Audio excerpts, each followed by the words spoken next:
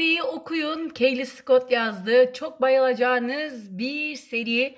Ee, Stage grubunun e, bütün e, elemanlarının aşk hayatları okuyun. Kaçırmayın.